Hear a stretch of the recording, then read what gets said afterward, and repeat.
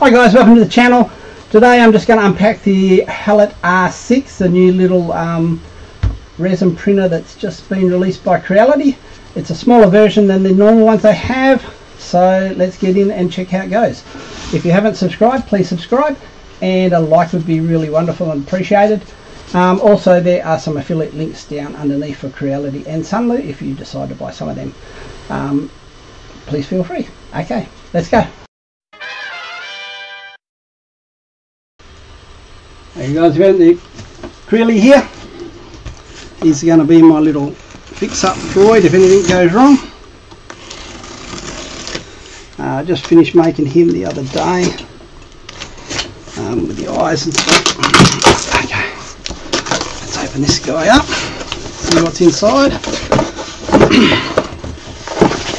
okay, first one's a little toolbox by looks with all your bits in it. That's where your power cord comes in. You've got a scraper,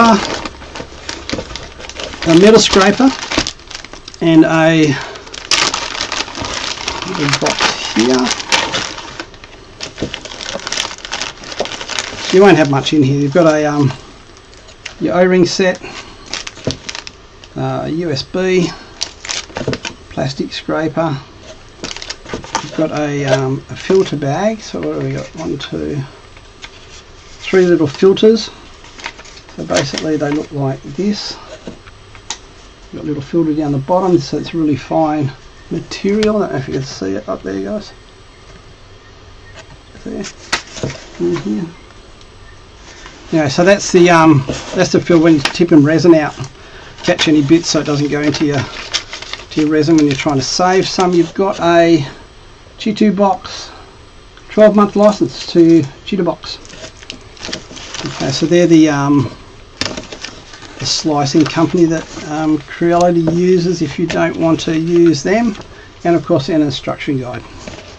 Okay, now I'm not going to um, actually demo it actually printing something, because I know it prints well, I've seen the prints, but I bought this for a present for my daughter-in-law, so um, that's going to go off to her, and she can have a play with it.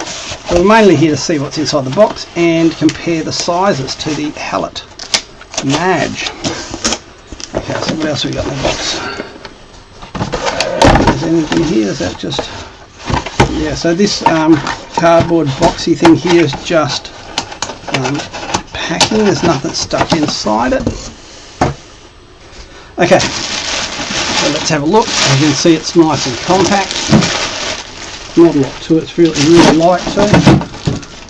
So, just your normal little lid to protect your eyes when the um, ultraviolet light's going off.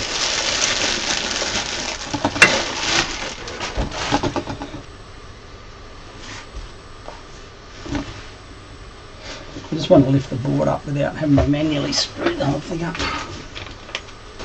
We've got language is going in, you pick English or whatever area you may are and then it is international area. So I've got it all done so it goes to next. Okay so basically it's saying here that if you just click OK it's going to raise the plate up. As you can see it is raising the plate up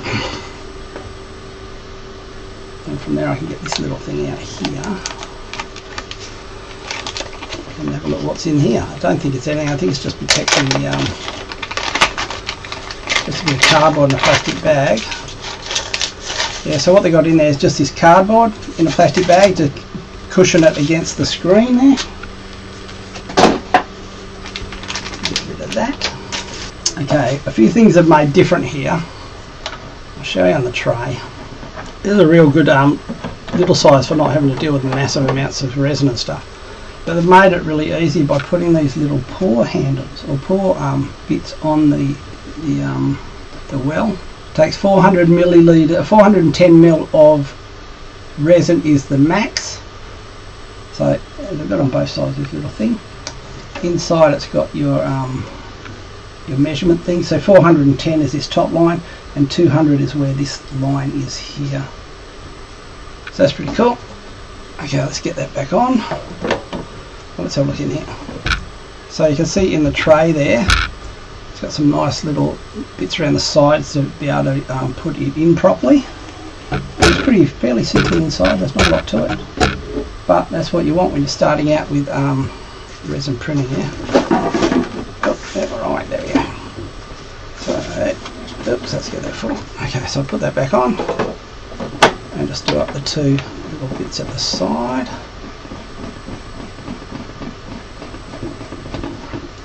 Okay, what's it saying now? Okay, now it says to after the platform rises, take out foam at the bottom, platform and click confirm. Okay, so just asking now if um, I've taken out the, the bit out of the um, well there. Okay, that's just asking what network, so oh, it's, it's got a network, huh? that's pretty cool. Okay, so once you've got it connected to your network, it's just asking you to go back to home, which it does. Then we've got a print menu and a setup settings menu. So let's have a look at the settings. Check if it needs an upgrade. So what have you got in the settings? You've got you've got a clean, you've got Z-axis movement. This is Wi-Fi, and you bind to the cloud there. So if you want to um, operate it for your phone, that's where you do it, and it should give you a you know, it gives you a barcode. So you just need to scan that, get into Creality Cloud on your phone, and scan that in, and it will um, link it up. Next, you've got um, printing parameters where you can set all your printing parameters if you want.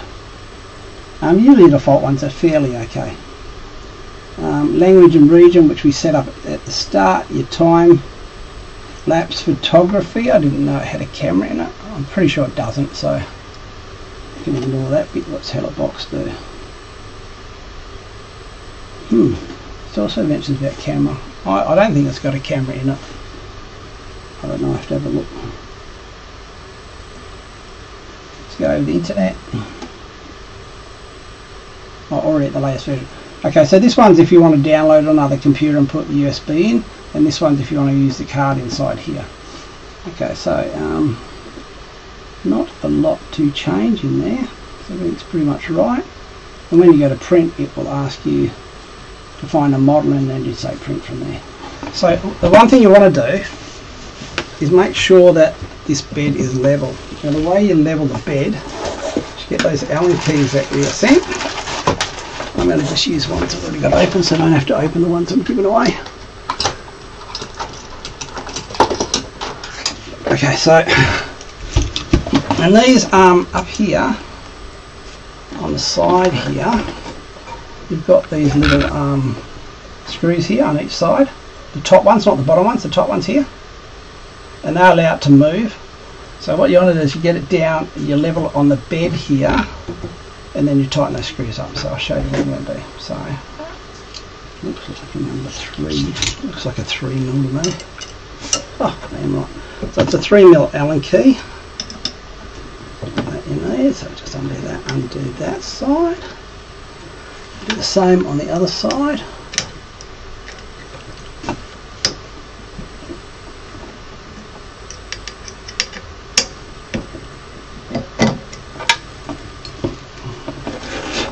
Okay, so they're both loose, so it's all, it's all loose. So I can go down. Okay, so what I've done is from the very first menu, you can see at the side you can change it up and down between screens. If you just push one, it'll go and it'll change the number. There's three screens you can go through.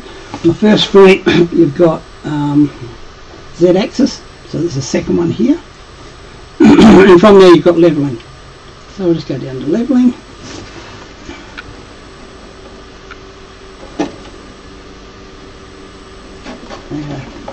That's going to come down.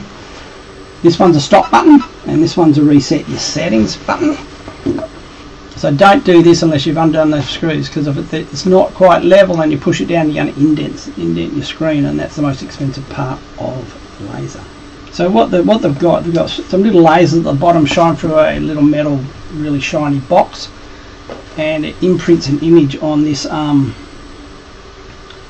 on the screen that's in the inside here there's a little LED screen and it puts an image in and the light comes from the laser up through that that image and um, sets some of the resin then it moves up a little bit and the image changes and it does the same thing again and it keeps doing it until your plate's up here and you've got a thing hanging off the bottom of it. So while it's down here do up those little screws on the side that you, you undid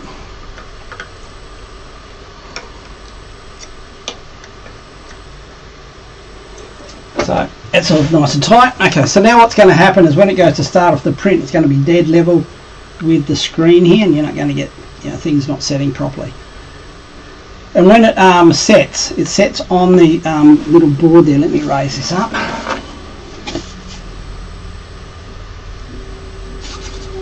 Okay, so reset the position will raise the board back up again. Okay, so this is the printing plate, this little metal bit here okay you'll have resin in this vat here as well. And what happens is when this goes down it makes a pattern and sticks it to this plate. And the plate moves up a bit and then it makes another pattern that sticks to the bit that's on the bottom here. And it keeps going until each line creates a model for you that's pretty much it. So the resin goes in here. Don't overfill it. I, I never fill it right up to the top because if you have a little bump the resin's going to fall over and it's going to kill your kill your printer. So just keep it a little bit from the top. That 410 mark is a maximum. Don't go all the way to the maximum. Okay let's have a look at the plate. So the plate comes off just by undoing this little screw up the top here. So that's the size that you can have. Here's one I did on my Halot Mage. So it's a little um, uh, ratchet from um, Guardians of Galaxy. And as you can see it will print like so probably. And it would have um, supports and stuff underneath it. But you can see that is easily going to be fit um, printed on something like that. Now to, to um, compare it I've got a Halot Mage down here. That I will get the plate out of now. And have a look Okay, so this is the difference in the plate. So there's the Halot Mage plate, and here's the one from the R6. So you can see how much difference there is in the plate there. Okay, up at the top here. Have a look? You can see that's the difference in the plate. So it's substantially smaller, but it's cheaper and okay so that's pretty much it yeah. So your resin goes in here. This goes back up and you do the, the knob back up again. Should be all ready to go. And then you put this over the top.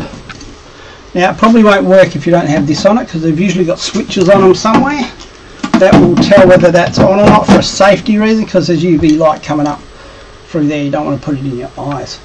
Okay so let me just get the Mage up here so you can have a look at that size difference with the Mage magic deep. This is a Mage behind us. So that's the Mage there. And then this is the little bugger that comes up to this height. So, look, so you can see. So that's pretty much the size difference. Let me get this over to one side. So it's lined up.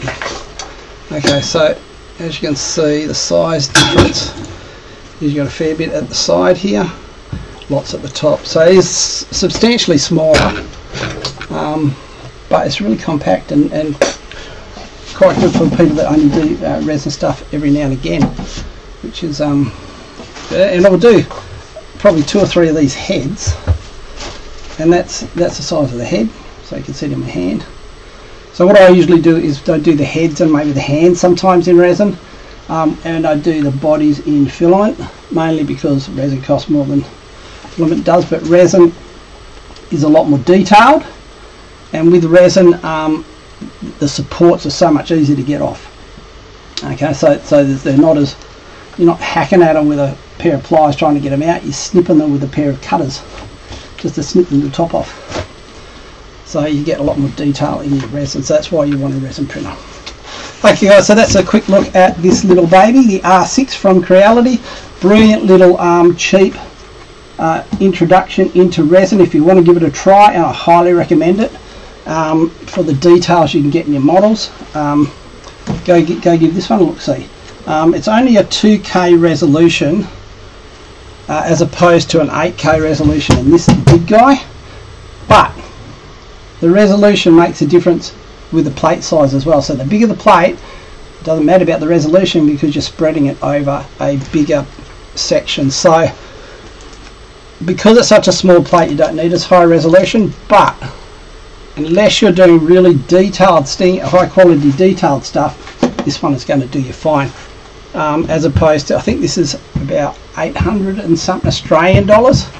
I think this is about 219 Australian dollars I think it was. So um, and it's supposed to be cheaper in America because uh, our tariffs and stuff are a bit nasty over here okay guys. So if you liked um, please give us a thumbs up down down underneath and subscribe to the channel. And uh, good old Creole here didn't have to do much but he will probably get involved a bit in some other videos coming up. Okay see you guys. Have a good one. Okay guys thanks for watching. I really do appreciate your support. You might like one of these or one of these videos um, that I've made in the past so feel free. Okay thanks guys. Bye